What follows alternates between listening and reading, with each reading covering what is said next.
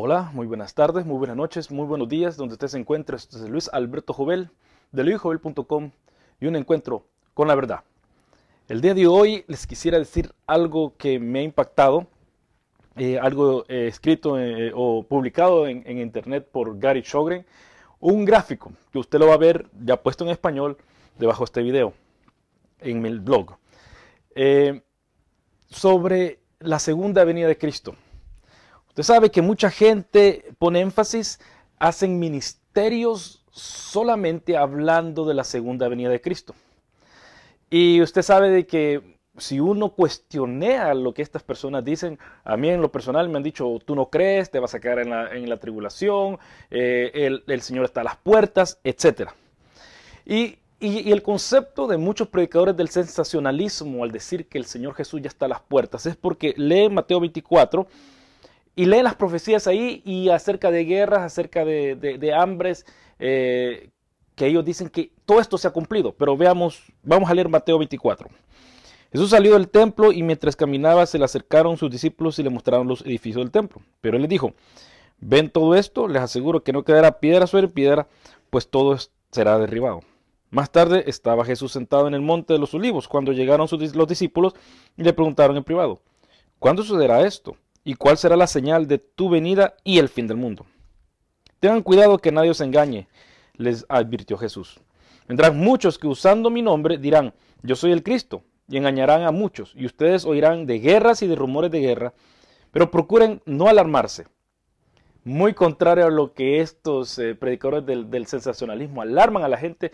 ¿Y por qué no decir nombres? Está David Diamond, Gary, Lee, eh, el nieto Yávila, está Bolaines, en, español y en, inglés está eh, John Hagee, Mark Blitz y muchos otros que, ahora últimamente no sé qué está pasando en Estados Unidos, que muchos predicadores en Carisma Magazine, todos están teniendo sueños y visiones que viene una, una de dos, el juicio para Estados Unidos o el, o cómo se llama, eso para Estados Unidos o una bendición para Estados Unidos. Así que hay mucha gente que está metiéndole, eh, alarmando a la gente. Y la Biblia dice que no, os, no nos alarmemos. Es necesario que eso suceda. Pero, no, pero no, no será todavía el fin. Se levantará nación contra nación y reino contra reino. Habrá hambres y terremotos por todas partes. Todo esto será apenas el comienzo de los dolores. Es un comienzo, no es al, exactamente antes que venga el Señor Jesús. Y estamos leyendo a Jesús. Entonces, los entregarán a ustedes para que los persigan y los maten y los darán todas las naciones por causa de mi nombre. En aquel tiempo muchos se, apartarán de la fe. Y esto es lo que dicen, que la apostasía, que la apostasía, porque apartarse es apostasía en, en, en griego. En aquel tiempo muchos se apartarán de la fe, unos a otros se traicionarán y se odiarán. Y esto a veces que, es cierto, yo tengo mis diferencias y a veces que yo también he tenido que dejar amistades atrás por nuestras diferencias doctrinales a veces.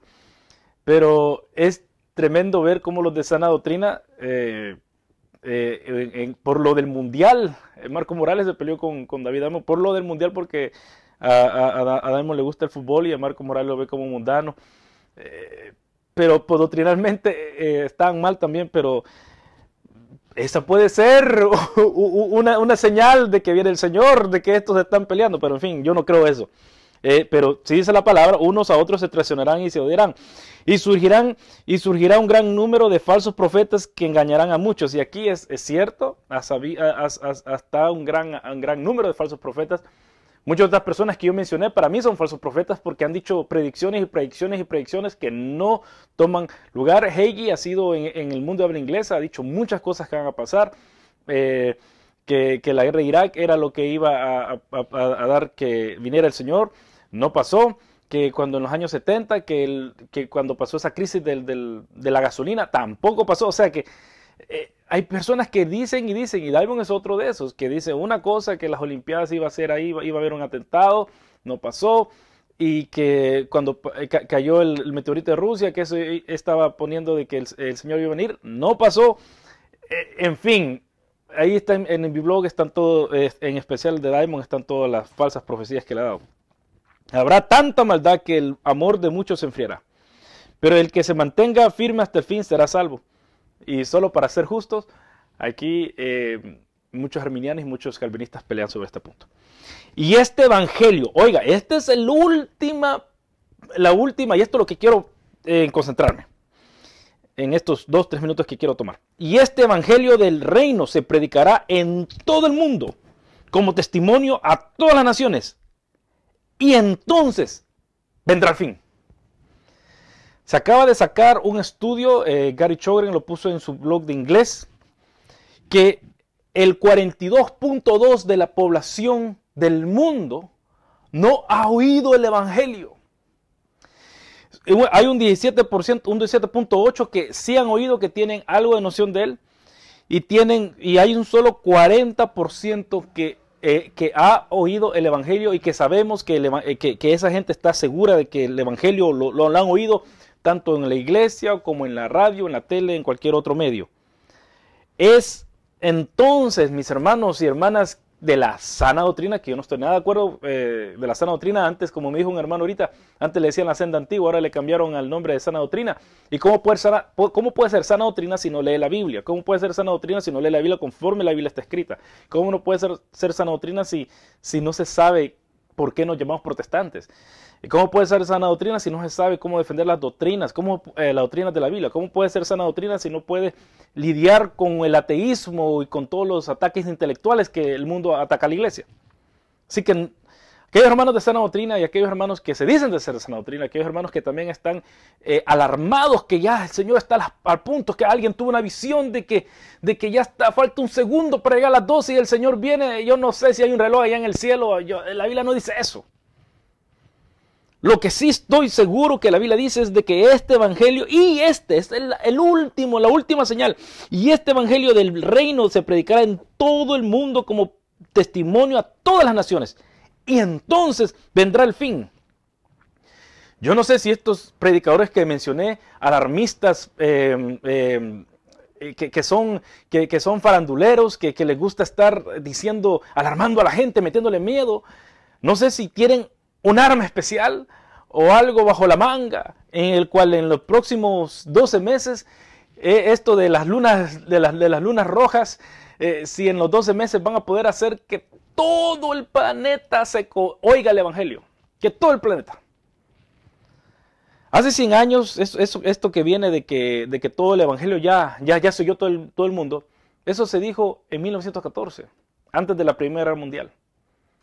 Y en 1914 no había, había radio, pero no había tele. Y ahora que tenemos tele, satélite, cable, teléfonos móviles, aún así un 42.2 de la población del mundo no ha oído el Evangelio. Así que si usted, hermano y hermana, ama la segunda venida, no se alarme por, por lo que están diciendo estos falsos predicadores, estos alarmistas de que, eh, que, ya el Señor está a las, puertas, que estamos viendo la apostasía y también estamos viendo el, la, la, iniquidad en estas personas que se dicen de sana doctrina, que no saben nada de doctrina. Promueven la ignorancia bíblica. No nos alarmemos de eso.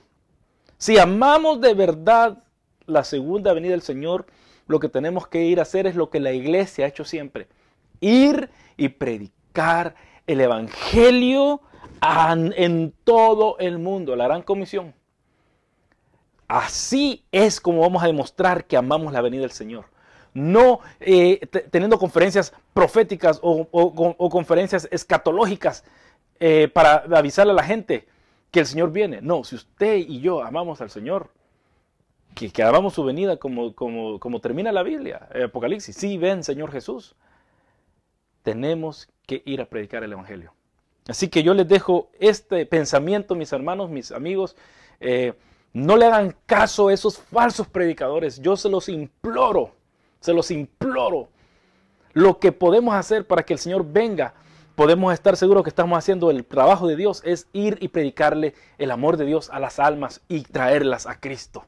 Solo así. No, nos, no, dejemos que las guerras, que, que, las hambrunas y que todo esto, los falsos predicadores como son estas personas que mencioné, o los falsos cristos que son eh, eh, como los de Creciendo en Gracia, que toda esta gente nos quite nuestro, nuestra, nuestra vista al autor y consumador de nuestra fe.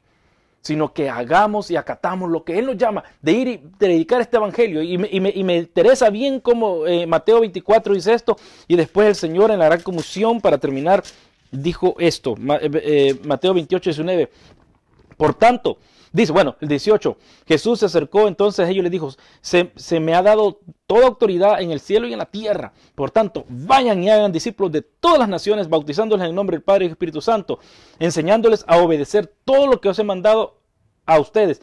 Y les aseguro que estaré con ustedes siempre hasta el fin del mundo. Yo no sé si usted cree que, el Señor viene en, eh, antes de la tribulación, en medio de la tribulación o después de la tribulación, pero el Señor Jesús sí nos ha prometido algo, que nos ha mandado que vayamos a predicar el Evangelio, pero que Él va a estar con nosotros hasta el fin del mundo. Sea que pase lo que pase, el Señor Jesús está con nosotros. Yo les dejo con eso, mis hermanos. Espero que les dé aliento y nos enfoque a Jesús.